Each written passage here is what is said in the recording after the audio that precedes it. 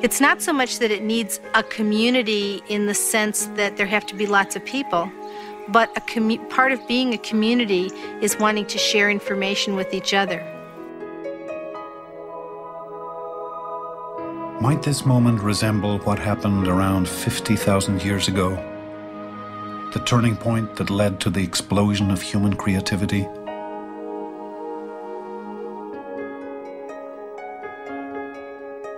Language does not need a voice. It is our legacy, an inevitability of being human. Today, we still don't know exactly when language evolved, when it opened the door to our phenomenal success as a species.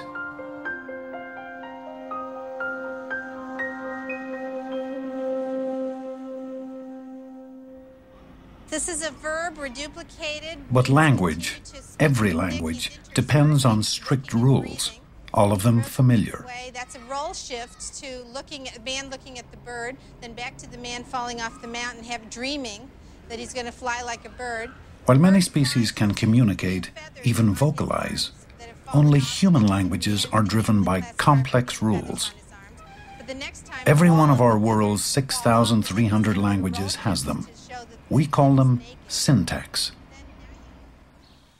In her isolation, Mary No Name never encountered syntax, but it is commonplace in the children's language. Syntax isn't the set of rules that you learned in your third grade grammar that you had to memorize so you spoke English the way you're supposed to. Syntax is, or language, the constraints on language are something that all human beings share. They're the constraints that are imparted to us by the fact that we share a single human brain. They are the not just the constraints, but the ability to hierarchically organize information that allows us to construct sentences, novel sentences that have never been said before, that allows us to put to to tell a story, that allows us to prophecy, that allows us to lie. I can sheerly communicate for communication's sake when I have syntax. Then I can truly use a language.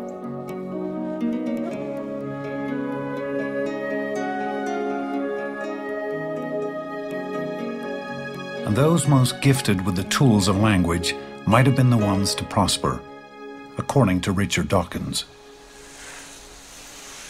We don't know when language started, but as soon as language did start, it provided an environment in which those individuals who were genetically best equipped to thrive and survive and succeed in an environment dominated by language were the ones who left the most offspring. And that probably, in our forefathers, that probably led to an improvement in the ability to use language.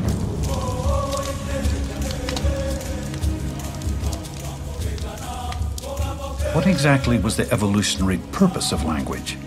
Was it to discuss water holes, weapons, what lay over the hill? Or might it have had another advantage? The answer may be surprising.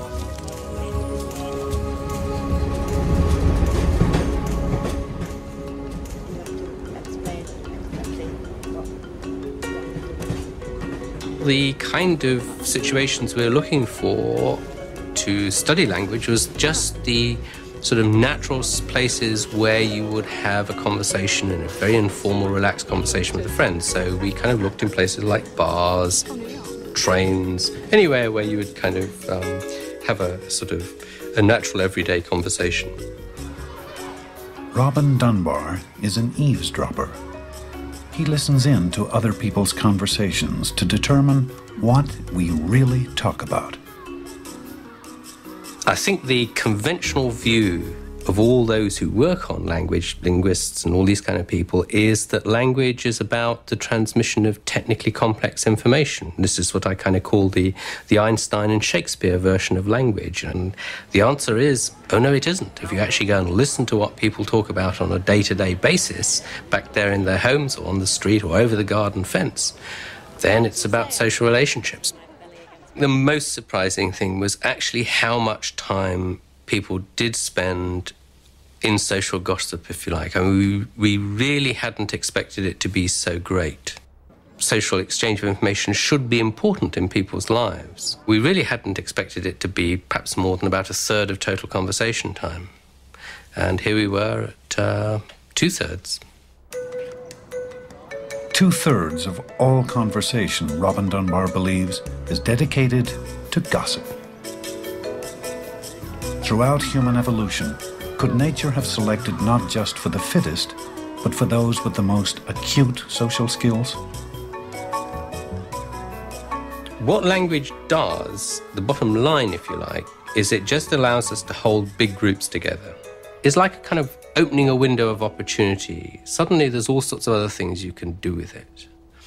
Uh, because you can use it to solicit information about third parties, so you can now see what happened when you weren't actually present at the time. And the problem all monkeys and apes have is if they don't see it, they don't know about it. They never will.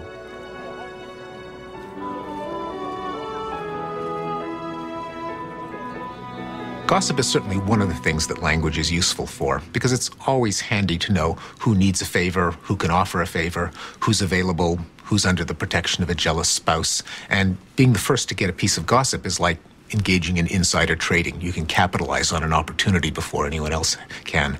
But language is useful for other things, for exchanging technical know how. How do you get poison out of the gland of a toad? Uh, what's the best way to make a spear? Where are the berries? What's the best time of year to hunt? It's also good for one on one negotiations. If you give me some of your meat, I'll give you some of my fruit. There are all kinds of ways that language can be useful. Uh, gossip, I think, is just one of them language, the force that created modern human culture, and that today tells us who we are, how we belong, and where we're bound.